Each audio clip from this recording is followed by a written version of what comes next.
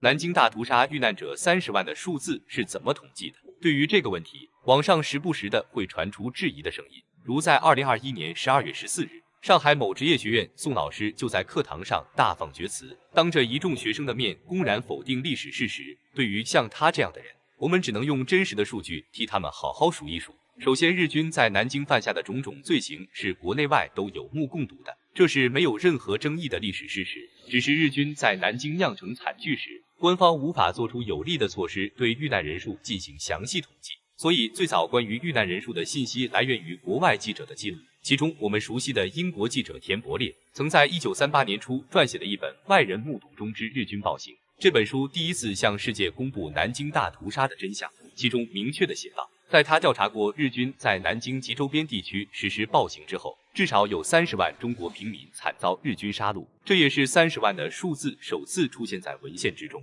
并且在之后日本外相广田弘毅在发训令时，还曾引用了田伯烈的这一份电讯稿，这也就相当于他已经也承认了日军在南京使用血腥手段的罪行。除了外国记者所写的文献资料外，三十万的数字也曾出现在我国的报纸资料上。在一九四六年二月十七日发布的《上海大公报》上，就有一篇标题为《南京大屠杀案首期调查工作结束，惨死同胞约三十万》的文章被广大社团扩大宣传。除此之外，也有许多的报社的文章记录下了日军在南京的暴行。除了记者媒体等相关的记载报道之外，最有力的证据恐怕就要来源于。远东国际军事法庭对南京大屠杀的调查了。一九四五年，日本已经宣布了无条件投降，但是他们在世界上所犯下的罪行仍需要审判，于是他们被送上了远东国际军事法庭，并且在一九四六年一月十九日，法庭做出了认定，其中很明确的提到，在日本占领南京后的最初的六周内，南京几乎三分之一都成为了废墟，日军在城内及其周围地区大肆屠杀中国平民和俘虏。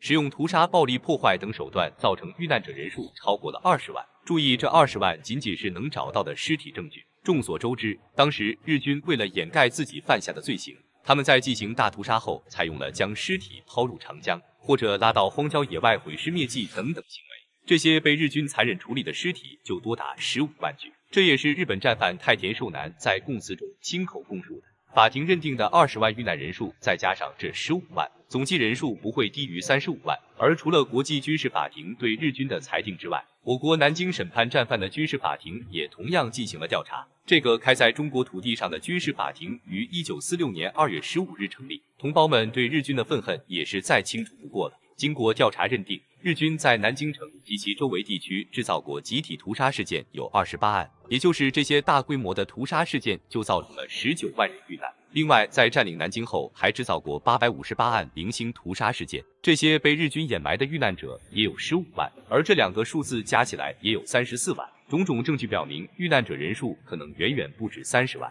除了军事法庭上的认定之外，当时参与到搜索埋葬遇难者的相关组织也有统计，而这些数据甚至能够做到精确到个位数。在南京沦陷之后，国际红十字会南京委员会南京分会成员就参与了救济工作，并且组建出了掩埋队，专门帮助平民掩埋遇难者尸体。不过，因为日军的严重干预，这场救援工作仅进行了六个月。但就是在这六个月中，八十多位成员收埋尸体数量就达到了四万三千一百二十三具，而另一边，世界红十字会八卦洲分会也收埋一千五百五十九名遇难者，其中包括了被日军机枪扫射致死的人，也包括在江中打捞的遇难者。南京市崇善堂也曾在后续工作中起到重大作用。从一九三七年十二月到次年五月一日，相关人员在城区中共收尸七千五百四十八具，另外在乡下不到一个月就收尸十万四千七百一十八具，共找到遇难者遗骸并埋葬十一万两千两百六十六具。这份报告后来也被档案馆收藏，这都是证明日军犯下累累罪行的证据。接着，中国红十字会南京分会也收尸两万两千六百九十一具，这个数据依然有出处，并且于南京市档案馆内收藏。而南京同善堂刘德才在控诉日本战犯谷寿夫时，也曾爆出一个数字，称在屠杀事件爆发后，同善堂也收埋军民尸体七千余具。另外，南京藏局掩埋队长夏元之在一九四六年作出辩护状时，也证实南京藏局曾收尸一万。而明德慈善堂的陈家伟曾在给伪南京市长写的信里也提到，当时也收尸共七百多具。而除了这些组织外，民间也组成了许多掩埋队，并且在其中发挥了很大的作用。比如城西掩埋队共掩埋遇难者两万八千七百三十名，城南市民掩埋队则共埋尸七千多具，其中市民对当时的惨烈状况进行了描述，并且还记录有埋尸的详细地址和数量。在众多的南京难民中，不乏有其他民族的平民，比如沈锡恩所在的回民掩埋队也曾参与到工作当中，并且埋葬回族遇难者四百多名。而胡春婷在南京大屠杀中亲眼看到了日军用机枪将三百余名中国军人和难民全部射杀。之后，他自发组织了其他幸存者，将这些人全部掩埋。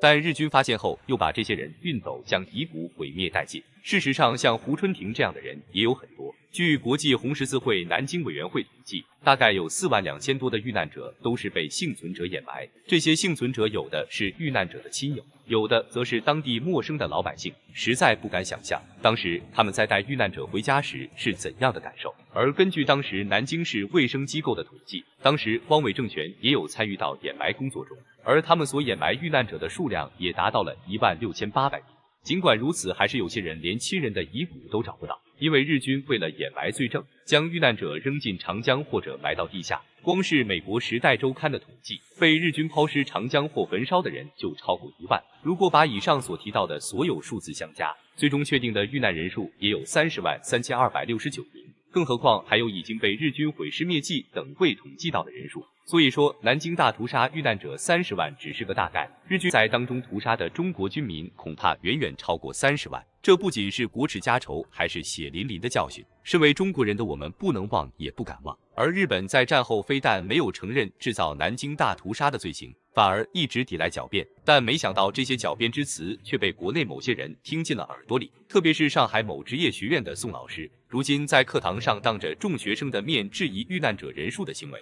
与那些冷血残忍的日本鬼子有何区别？而就在今年，南京大屠杀又添新证据。从今年南京大屠杀遇难同胞纪念馆举办的新闻发布会上，表示今年共新征集到了文物史料一千一百零三件，其中包括侵华日军的从军日志，也包括在南京大屠杀期间美国宣传该事件的原报纸材料，上面所记录着日军在南京犯下的累累罪行，再次向世界证明了日军残暴的事实。这件国耻也将永远印刻在每一个中国人的心中，继而影响着一代又一代。而到现在依然还在质疑遇难者人数的人，我们也只能说这类人又蠢又坏，他们口无遮拦的行径也势必受到来自国人的怒火。